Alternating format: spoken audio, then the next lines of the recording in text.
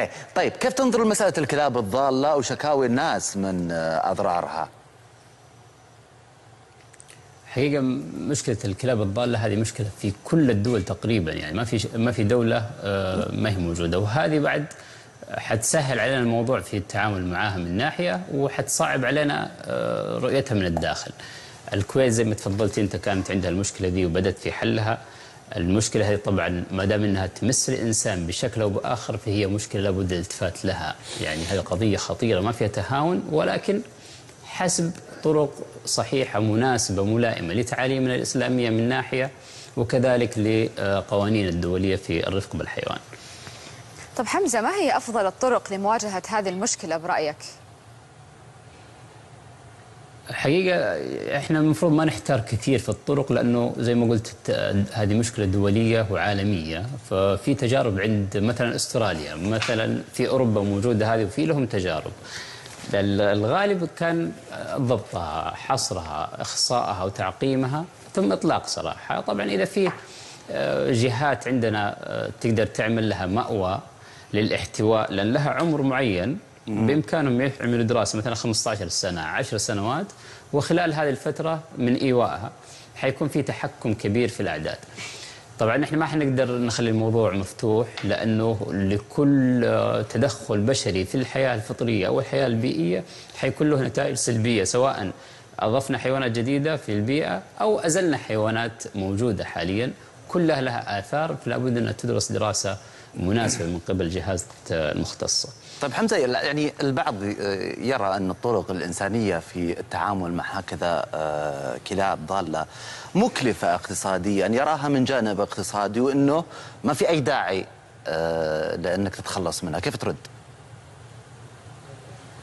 والله اخ علي فيه في ذبحنا للذبائح اللي إحنا ناكلها التعليم الإسلامية وضحت إنه لابد يكون إحسان الذبحة، حد السكين، مراعاتها ما, ما تشوف وهذه أشياء إحنا بناكلها.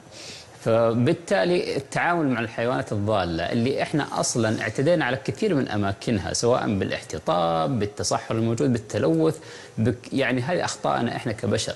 فلا بد أن نتحمل النتيجة في دفع التكاليف الباهظة في آه، معاملة التعامل انساني مناسب لحقوق الحيوان.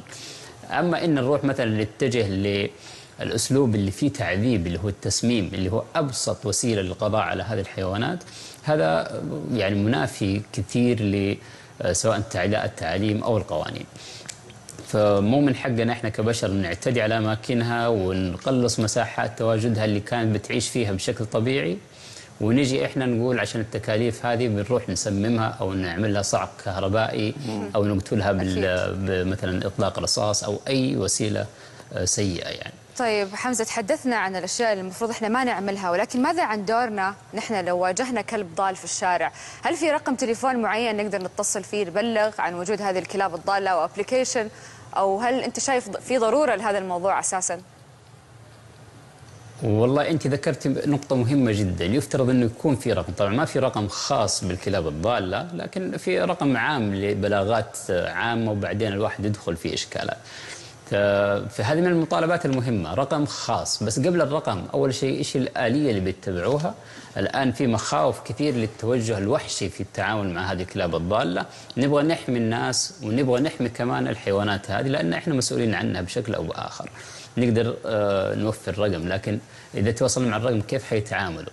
في كثير من الناس متردد يقول ما يبغى يكون في ذمته شيء آه، لما يبلغ الجهات المسؤولة وبعدين يروح يسمموها وتجلس ساعات وهي تعاني وتتبهدل. وعلى فكرة السم اللي حياكله معلش أنا غيرت يعني آه، استطردنا في الحديث لكن مم. مهم جدا. السم اللي حياكله الكلب ويموت فيه حيموت معاه قط وحيموت معاه قطط مجموعة قطط حيموت معاه طيور حتاكل من هذه الجيفة حيموت معاه أشياء يعني حيوانات أخرى تتضرر في آه، بيئتها.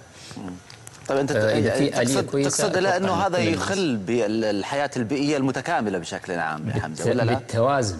نعم بالتوازن وكمان الاعتداء حيمتد لحيوانات أخرى. واضح. إحنا نعم. نشكرك طبعا ضيفنا من جدة الناشط في مجال حقوق الحيوان حمزة الغامدي شكرا لك.